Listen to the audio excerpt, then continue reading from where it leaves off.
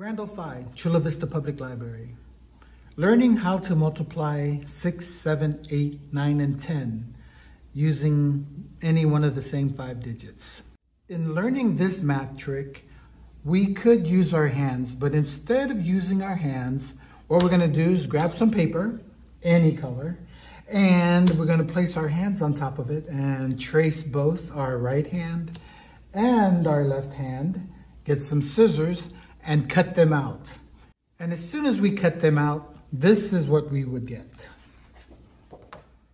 Uh, we should have a good understanding multiplying these numbers to these 10 digits from 0 to 10. So 0 times 0, 0 times 1, all the way up to 0 times 10, and taking it from 5 times 0, 5 times 1, 5 times 2, all the way up to 5 times 10.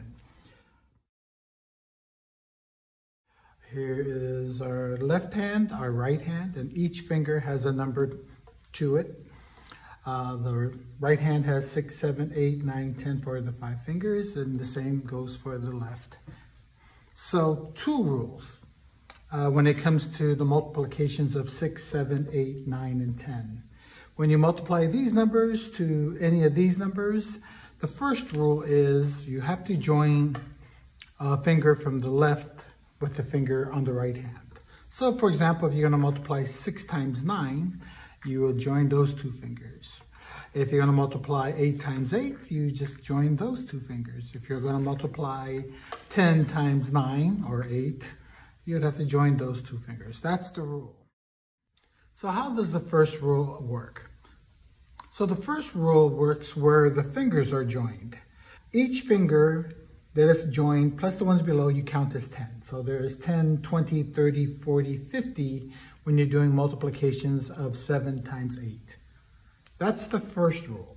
So 7 times 8, those two joined fingers and the ones below you count as 10. 10, 20, 30, 40, 50. The second rule is the fingers that are above the joined fingers, you multiply the left hand, the fingers of the left hand with the fingers of the right hand. So in this example, 7 times 8, you would do 3 times 2, which is 6. So uh, putting it all together, 7 times 8 is equal to 10, 20, 30, 40, 50, plus 3 times 2. 7 times 8 is 56. Let's try another one.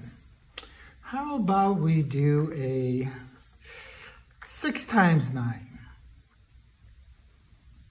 Well, 6 times 9 is, if you look at the joined fingers, there are two here, so 10, 20, 30, 10, 20, 30, 40, 50. So that is the first part. There's uh, 50, and the second part is 4 times 1. So 6 times 9 is 54. Let's do one more. How about 8 times 6?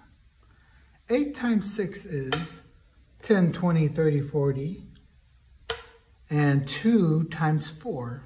So 8 times 6 is 48. All right, good job.